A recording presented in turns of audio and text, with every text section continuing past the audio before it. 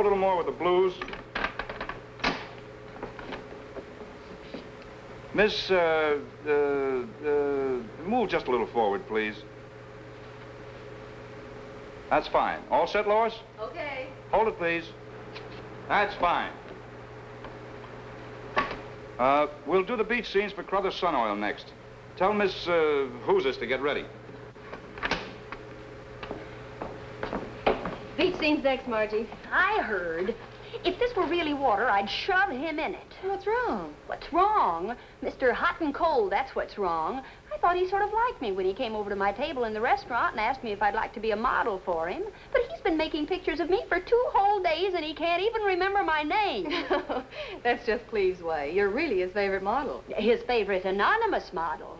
Better get ready, honey. Hi, Margie. Gee, I'm sure glad you're on this assignment, too. Hello, Hercules. And we're doing some beach scenes together. Yeah, and you're the girl I'd like most to be a beachcomber with. Thanks. I needed that. You know, Margie, we could work up a swell act together. Acrobatics and weightlifting. I know all the muscle rackets. And with your brains and my beauty, we'd be a sensation. Well, my dear father doesn't even know I'm doing this. If I went into an act, he'd blow a gasket. It's perfectly decent. We just stand there and let the people gaze at us. Listen, Margie, I've got to deal with Stacy's department store. Come on, you two. Margie, get changed.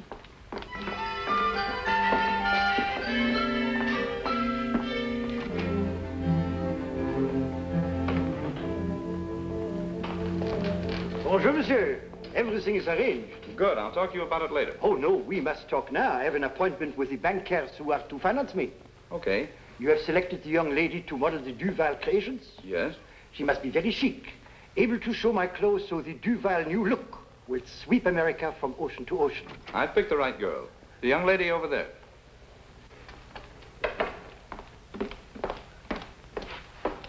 Oh, magnifique. Excellent. Yes, and she photographs very well. Now, she must sign this contract for the year exclusively. She can appear for no other advertisement without permission. The Duval New Look girl must never model for a rival firm. Lois will take care of the details. Very good. I shall inform my bankers that we're ready to go ahead. The dresses have arrived? Lois said they came in yesterday. Now, if you'll excuse me, I'll get back to work. Of course, my friend, of course. Do you have some photographs of the young lady? Lois will give you some on your way out. Very good, excellent, and au revoir.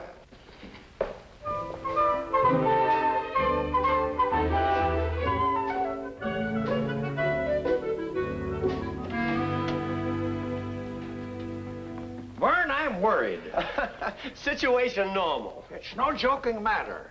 We've never gone into a deal like this before. It's downright risky. Everything's risky, but it's a good bet that when the great Duval announces a new Paris fashion, the women of America will protest violently and buy enthusiastically. But it's out of our field. All right, then let some other syndicate put up the backing and take in the profit. Don't be so hasty. It's just that I don't like the idea of risking our money on a venture that caters to a woman's vanity. How about making money catering to a woman's vanity? That's different. Well, at least we haven't got Margie to worry about this time. That is, I hope we don't. Oh, stop worrying, Mr. Honeywell. I haven't breathed a word of this to Margie. She doesn't even know that we've ever heard of Duval. Yes? I'll tell him to come right in. It's Duval. Gentlemen, I bid you good day. Won't you sit down? Merci.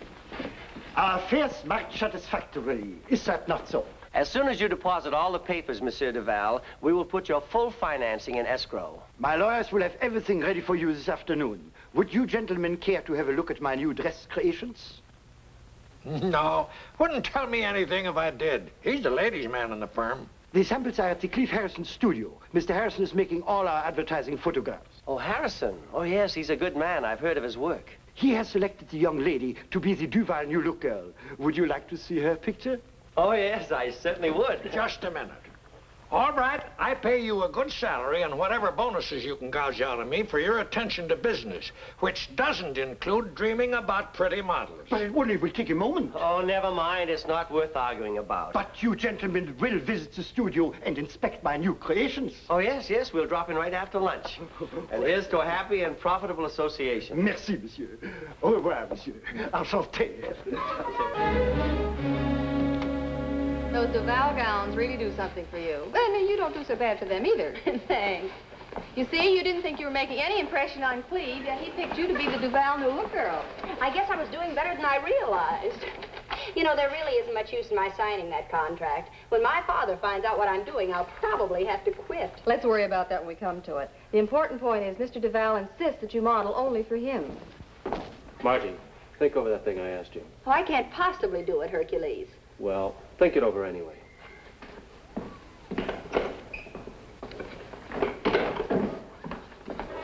Lois, hurry it up, will you? We need Miss Whatsis in the nightclub set. Temper, temper. I'll tear it up. I swear one more Miss Whatsits or um or who'ses and I'll crown that man. Now, Margie, he did pick you for the job, didn't he? Now, he won't even remember that by tomorrow. Will you please come over here, Miss Thingamabob? The set is all lit and waiting for you. Thingamabob. That did it. Mr. Harrison, Uh-huh. do you know who I am? Oh, come on now. This is no time for 20 questions. Lois, where are the two models for the Distinguished Gentleman series? We were going to make those shots while we had the nightclub set lit. The agency said they'll be here any minute. Oh, they should have been here half an hour ago. What's the matter with everybody today? Do I have to remember everything? Now, what was it you wanted? There wouldn't be any use after that.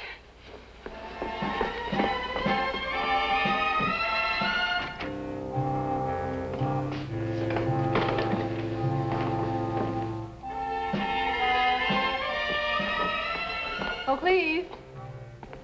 Your two distinguished gentlemen just came in. Hmm. I'm Mr. Honeywell. This gentleman and I... Well, it's about time you two got here. But you won't do. You're all wrong. You're a good type. In fact, you're very good. But why did they send him?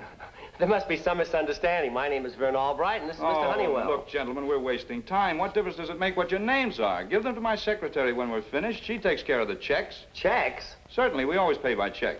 I won't be able to use you, but we'll pay for your time. Let's go. I'm behind schedule already. Well, wait a minute. Do you think we're photographers' models? Well, what do you think you are? We know what we are. We're investment bankers arranging Mr. Duval's financing for him. Oh, I'm sorry. I was expecting two models for the Distinguished Gentleman series, and I thought you were them. I am sorry. Oh, that's all right. We just dropped up to see Duval's dresses. Of course. Lois will show them to you. Uh, Miss Whatsis had one on here a minute ago. Where'd that girl go? Well, she'll be back in a minute. You know, I really am sorry you're not a model. I'd love to have used you. You're a fine-looking type. Do you really think so? Yes, and you're very photogenic. Well, it's nice of you to say so. I don't suppose you'd... No, of course you wouldn't. You don't suppose I'd what? Oh, forget it. Just a suggestion I was going to make. Oh, go ahead and make it. Uh, I'd better not. Oh, now look here. I'm an older man than you are. Take my advice. When you've got something to say, come right out and say it. Well, I was only going to suggest that you pose for the Distinguished Gentleman series. All right, I will. I mean, uh, all right, I will. You see, there was nothing to be frightened of, was there? No. He certainly bullied you into agreeing. Please, you are not the distinguished gentleman type. Now, if you'll just come over here with me, please. This won't take very long. If you'll sit at the table, Mr. Uh, uh, and look as if you're watching the floor show, I'll make the shot fast.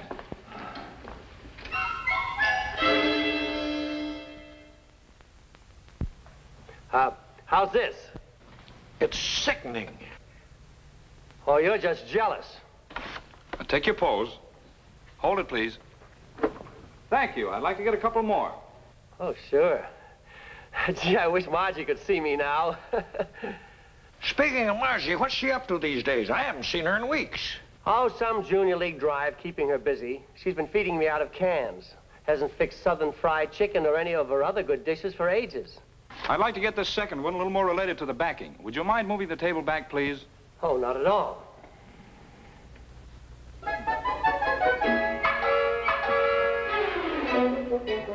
Now, there, that's good. Now, if you'll sit down again, please. Hold it. That's fine. Now, one standing up, if you don't mind, sir. Oh, I don't mind at all.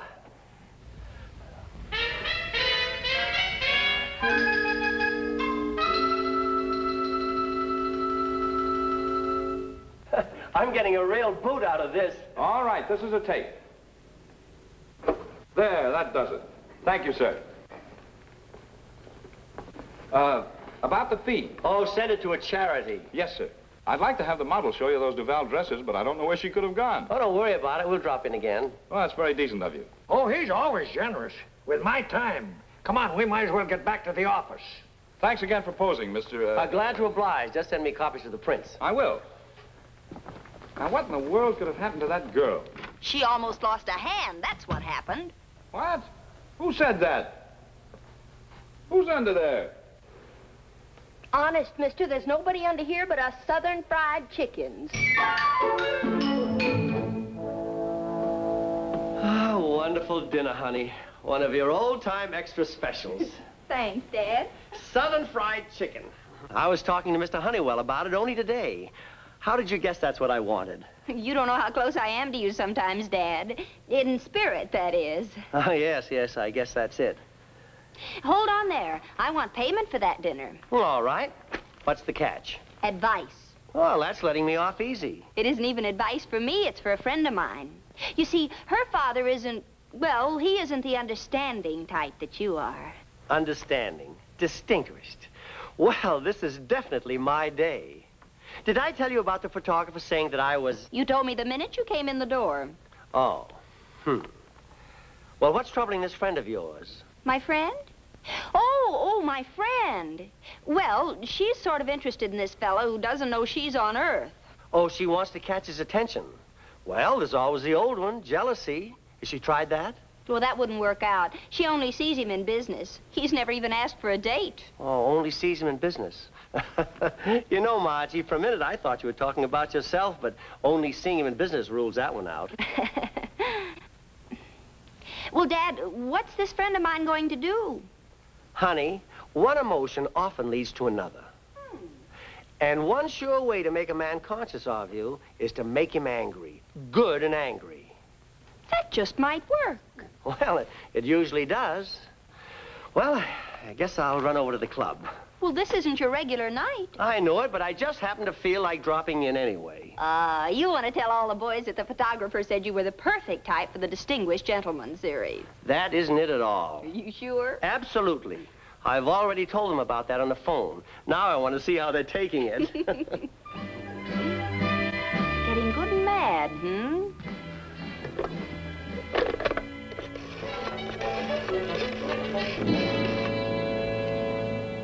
Hercules? Margie, listen. You remember what you were telling me about? Well, I've decided to do it. Right. You go ahead and make all the arrangements. Good night.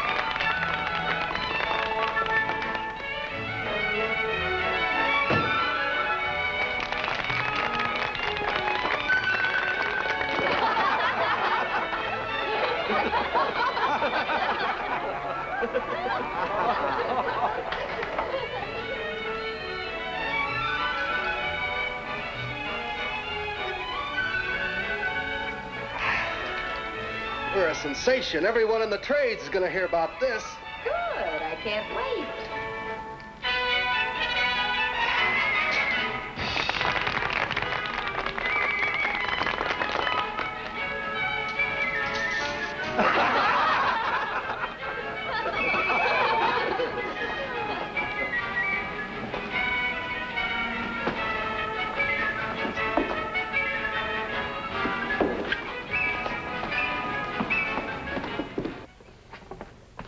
My own eyes, I saw her. These. The Duval new looker in a store window wearing the acrobat's trousers. Oh, take it easy. Take it easy. There's no time for the take it easy. Are you sure it was the same girl? I am of a certainty it is too late to stop the magazine layouts. Now, you get her out of there. Je vous sortais, je vous frappais, je vous poursuivrai en justice all the way to the Supreme Court. Don't worry. I'll get her out of there all I right. have informed my bankers of this. This is a breach of her contract with you, a breach of your contract with me, a breach I of... told you I'll get her out of there, and I will. I have a hunch this isn't going to be as easy as you think it is. What do you mean? Well, she's only doing this so you'll notice her. Notice her? How blind can a man be? Look, Cleve, Margie has sort of a crush on you. She has? And the way you've been calling her Miss Who's It, not remembering her name, it's made her mad. And the sorer you get now, the more she's liable to stick to it. You may be right. Phone our lawyer and have him get out an injunction. An injunction? Oh, we had to do this with a model once before. How long does it take this injunction? Oh, he has to draw up the papers, then reach a judge. It only takes a few hours. A few hours. In a few hours, I'm ruined. I'm a laughing stock.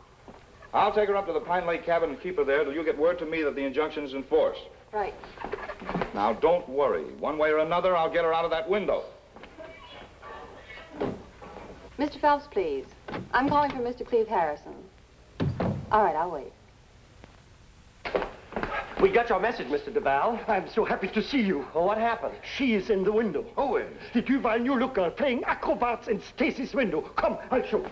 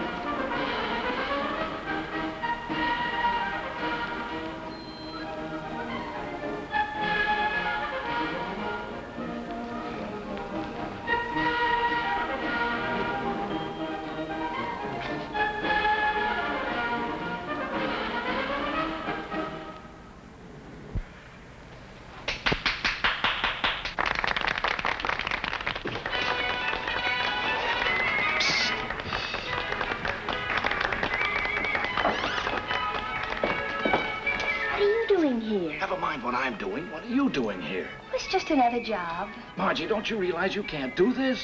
So you do know my name. You've got to get out of there right away. Naughty, naughty. Do you realize you signed a contract that I have to approve every job you take? Yes, and I'd advise you to study the signature so that you'll remember the name. A contract is a contract. And a broken contract is a broken contract. Lois said you might be doing this to make me notice you. I might be. Well, I'm noticing you. We'll take a nice long drive in the country and maybe talk things over. It's beautiful bait, but not for this mouse. Yeah, I've got a cabin at Pine Lake. Maybe we could have dinner and talk things out? Tempting her and tempting her. And the answer is still no. Hercules needs another prop. Don't go away. I'll be back and we'll play some more tag. Now, come on.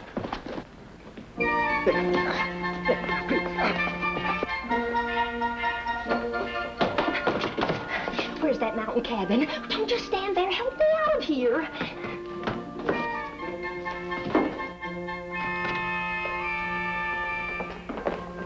Everything under control? He got her out just before we got there. For which I am very thankful. Mr. Duval, if you'll forgive my saying so, I think you're inclined to get a little too excited about these things. Something like that is a something to get excited about. Nothing is worth getting excited about. Mad. All Americans are mad. Isn't Mr. Harrison coming back here with the young lady? Might be a smart idea. We had a chance to talk with her and throw a scare into her. Well, Cleve was going to try to hold her at his cabin at Pine Lake till the injunction goes through. Smart idea. That's the way to handle things, Mr. Duval. Calmly. Come. From the mood Cleve was in, I'd say that he could handle throwing a scare into her all by himself. I can't say that I blame him. Well, some of the prints in the Duval series are ready. Would you like to see them? Oh, might as well while we're here.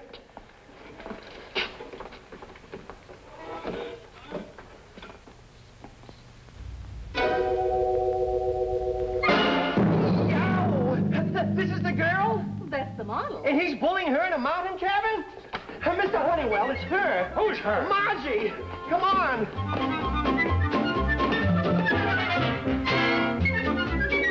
Where's that mountain cabin? The end of West Mountain Road. And this is how American businessmen act when they're calm. Did Margie come up here? Who were those two men in the hall? They almost knocked me down. They were my bankers. Well, what was their big hurry? I think they went up to Mr. Harrison's mountain cabin to help him bully the model. What? Now, he's calm, too. So you won't have to run back for the address. It is... I've been there. Well, if that is how one does, that is how one does.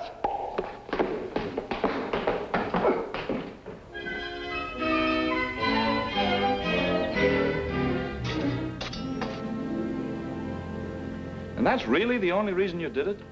Sure it is. It's very bad for a girl's morale to have a man stare at her day after day and not even be aware that she's there. But I was aware of you. I was aware of you every minute. In fact, I've never been so aware of any woman before. Now, let's not try to make up too much lost time all at once. We are alone here, you know. Sorry. Furthermore, I, I'm not sure I believe you. Why not? Well, I don't think a person can be very aware of a girl if he doesn't even remember her name. Oh, that. Well, it's no small thing. No, I didn't mean, oh, that, that. I meant, oh, that, that. That makes it clear as mud. Well, the point is, I never remember anybody's name. It's kind of a mental block. I forget names because I hate them. But why? Well, my mother was always an enthusiast. And? Just before I was born, she'd been reading a book on the presidents. What's wrong with that? My full name is Grover Cleveland Washington McKinley Tyler Harrison. What? Those were her favorites. No wonder you hate names. At that, it's, it's got kind of a rhythm. Grover, Cleveland, Washington, McKinley, Tyler, Harrison. It does sound a little like a... Like a guided tour of a public library. well, now you know why. I understand. Let's talk about something else. You know, that Indian blanket's very becoming to you. Well, thank you, sir. It uh, gives me an idea for a portrait study. Captive Indian maiden. Would you pose for it? All right. I owe you something for all the trouble I've caused you. But then we have to get back to town. Okay. These stones would look like the walls of a fort in a close shot. And I have some props in the chest over here. Ah, here's what I'm looking for. Mind if I hit you to this? Anything for art.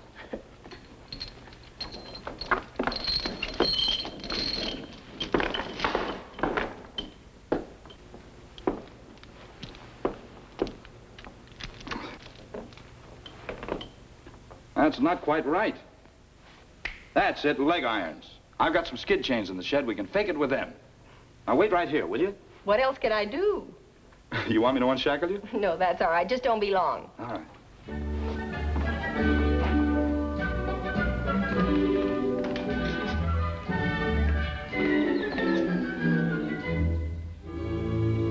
I'll kill him for that.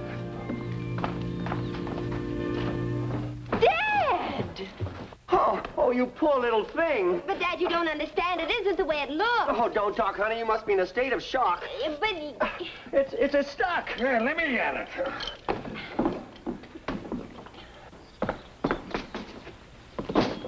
you don't understand, Dad. The fiends.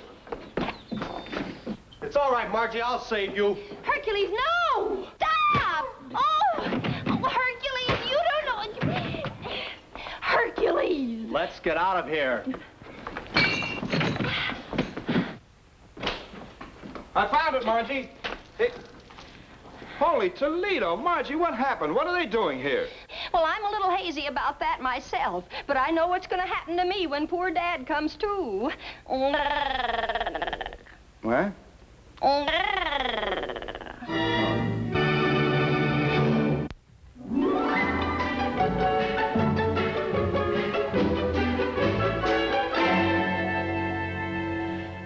That photographer fellow hasn't been around recently. Is there anything wrong? Oh, him.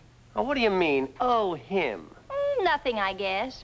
But, Dad, if you were a girl, which would you rather have? Your hand held or your picture took? Oh, I, I see what you mean. Well, that's my little Margie.